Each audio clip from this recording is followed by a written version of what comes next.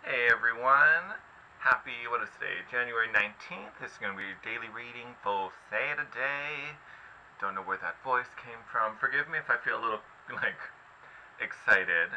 Um, I'm, I'm just saying it's because the moon is in Cancer, so it's just making me feel all kinds of wonderful. So if I seem a little higher than normal, well, that's probably what it is. I'm just feeling real good. Um, with that said, interesting set of aspects, especially when we put that with our runes. I kind of just want to jump into it. Um, yeah, so let's do it.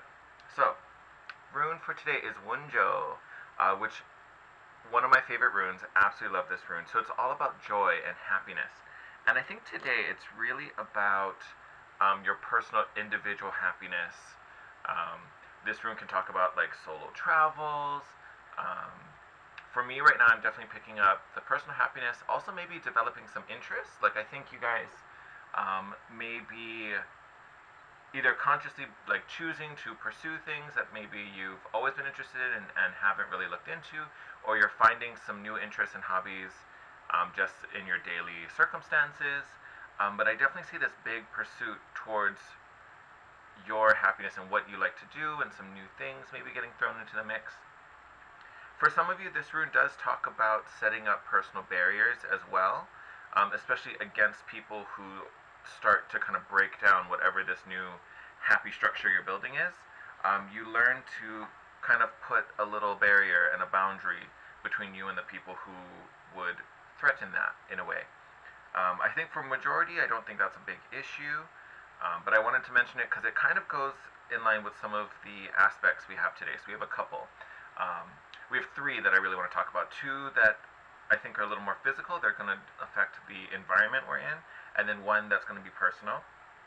So we make two, uh, not hard, but difficult aspects. So the moon makes a square to Mars, and it also is in opposition to Saturn.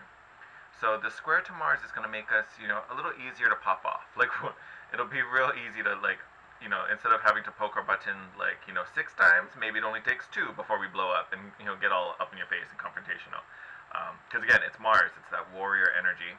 And then we also have this opposition to Saturn, which makes, it's kind of like your feelings, you know, are not meeting up with, you know, the structures in place. So it's, it's, people are going to be really, really set and solid in their beliefs whatever they feel, they're like they're it's gonna be very hard to budge anyone. That includes you as well as others. The reason I want to talk about that, because if you're aware of it, because remember these are just the energies that are around us. That doesn't mean we need to fall victim to them. You know, it's just it's something to be aware of. Oh, I may be a little prone, be prone to pop off today, so I need to be aware of when and how I use that ability. Sometimes it's great, sometimes it's not. So we just want to keep it in check. Um, and those two kind of go hand in hand. If you have everyone you know, really not open to other perspectives or other ideas. They're really firm and solid in theirs. Once someone brings something that's not their idea, you know, that may that may make people a little testy today. Just something to be aware of. They may start coming for you. Oh, so you want to be a balloon artist now? No, no, no. That's stupid. Who does like? I'm, and that's just an example. But I'm just saying. Kind of makes sense. Um, what's great about this, um, the moon makes a trine to Neptune which does make us more sensitive. It does offer a bit of inspiration as well, which is beautiful. Um, but I think it's this increase to sensitivity, which is beautiful. Again, I wanted to mention this because I wanted to bring your awareness to the fact that people may be a little more testy, you may be a little more testy, but this trine to Neptune allows us to pick up on that. And then we can use that to our advantage. Okay, this is a little tricky situation. Is there anything I can do about it? Maybe not. I think this person just needs to blow off steam. Okay, I'm going to leave them alone. I'm going to do my thing.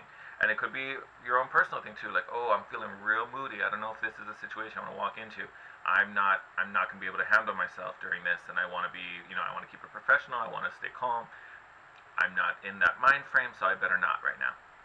Use this. You know, use this to your advantage um, kind of knowing these are the energies that are kind of swirling around this. And again, you don't have to fall victim to it. Just because someone is being testy doesn't mean you need to be testy, you know. And honestly, this sensitivity with Neptune, you may even be able to coax them down. You know what I mean? It's all in how you use these these powers that be, so to speak. All right. So, with that said, honestly, I'm so excited that we got Wunjo. I'm just excited for what what happiness it brings. I mean, like, who doesn't who doesn't want an extra dose of happy? Like, that's That's wonderful. So I'm kind of excited to see how that works out for all of us. Ooh. Wow, okay, that's a lot. We're to take the ones that landed face up. Don't you guys yuck? What did we... Oh! We got some new ones. We haven't seen these before. I love. All right. So I'm going to read these from the book, but we got The Gift. Beautiful. For some reason, the number 23 on this card is standing out. Maybe because it's 5 and this is change. We're changing to a course of happiness? I don't know. I'll take it, though. But we got The Gift. Under My Umbrella. And we also got Liberty. Twos may be a big big thing for us today as well because we got 23, we got 20, and 2. Each one has a 2 in there.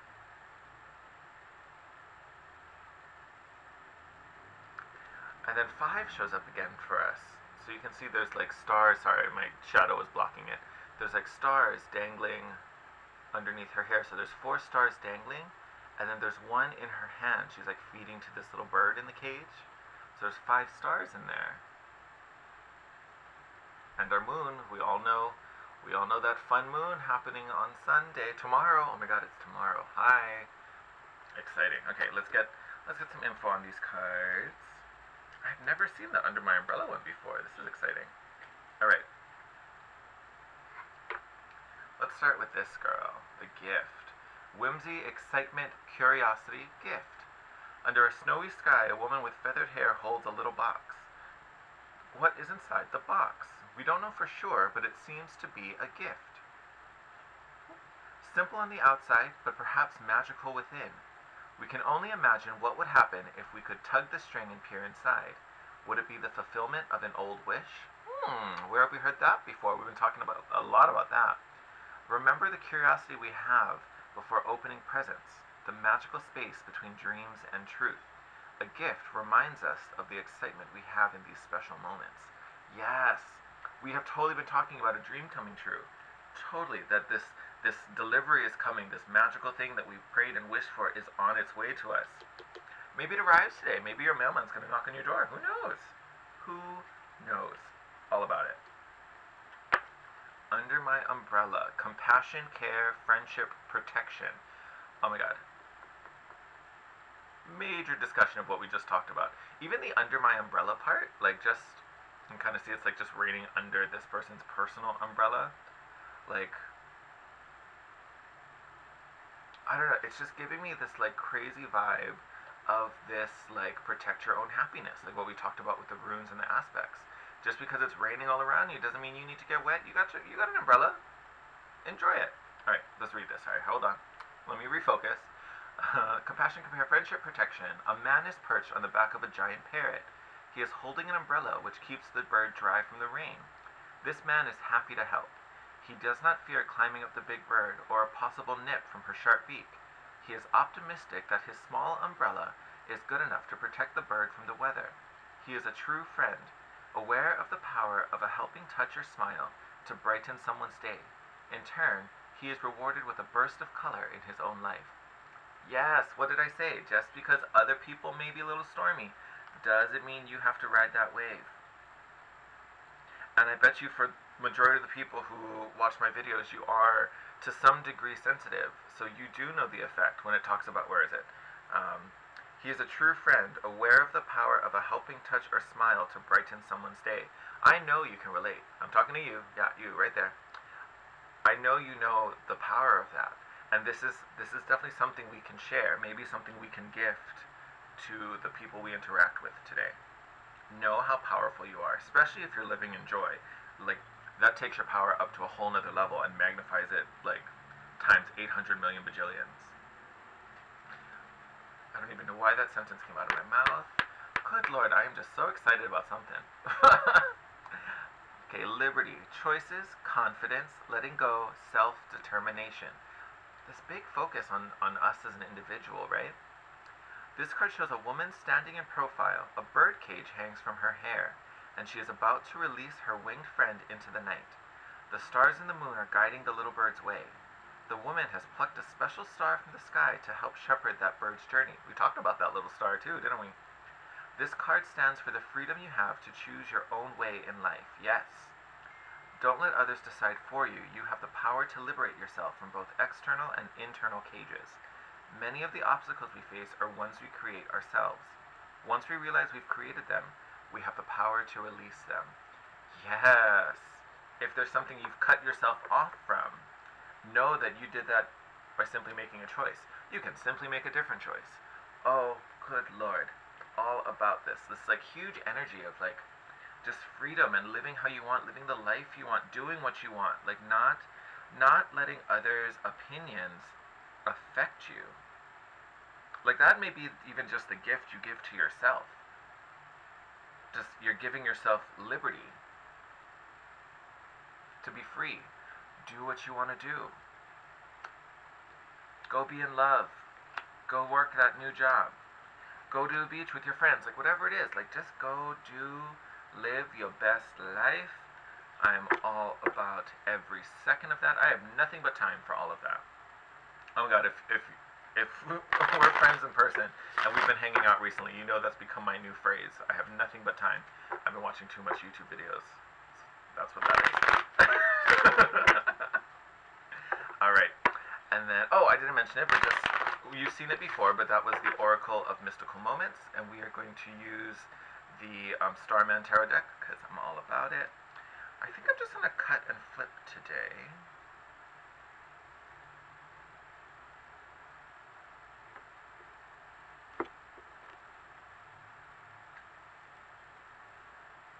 Don't do two cuts. I'm like feeling it out. No, we're gonna. This is good. Whoop.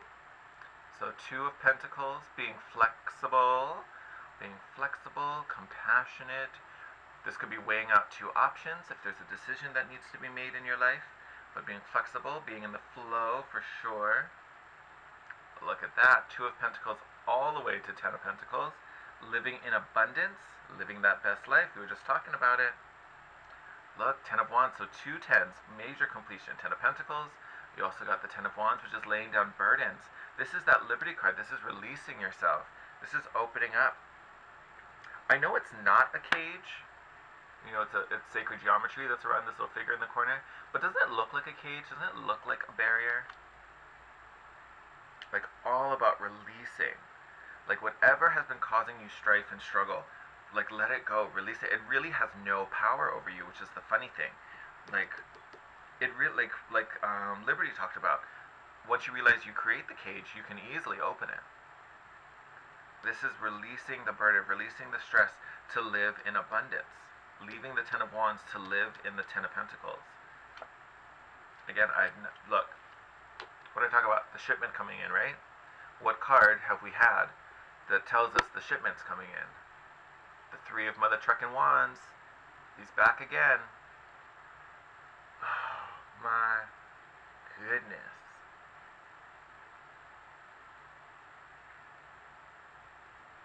I keep looking at these towers. So I keep looking at the cards to see if I pick up anything from the images. Don't these towers look like like clock towers? Like I mean, not like Big Ben, but like Big Ben. Um, it's just giving me this like it's it's just a matter of time. Everything has been set. The plan has been enacted. The troops have been shipped out. Like it's it's just a matter of time. Everything else has been done. It's just a matter of time.